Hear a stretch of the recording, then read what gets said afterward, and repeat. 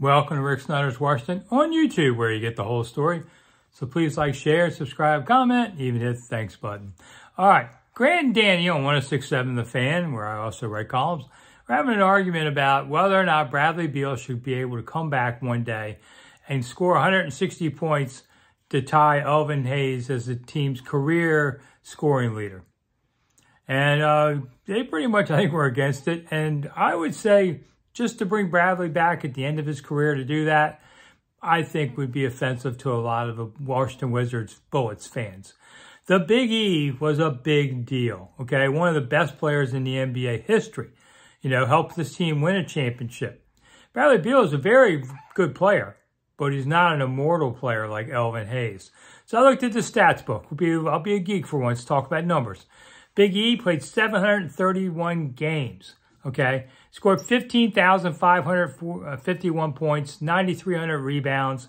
You know, he Brad was basically, uh, he's 160 points less, uh, but he has 2,837 rebounds, which is about uh, 7,000, 6,500 less than, than Big E.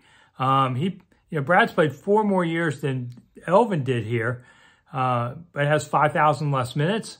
And here's a good one. Big E had more than 1,500 blocks, Bradley has less than 300. That's a big number difference.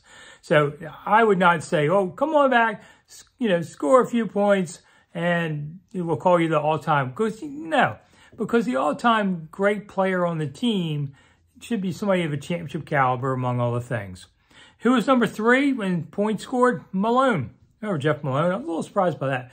Uh, Wall was fourth, and Unseld, if you're going to argue who's the greatest player ever, to me it's between Big E and Unseld, who played together.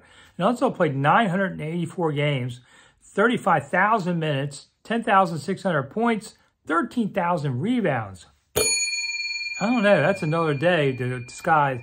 Would I take Big E over Beal? Do I take him over Wes? Maybe, maybe not. I'm Rick Snider. Thanks for coming.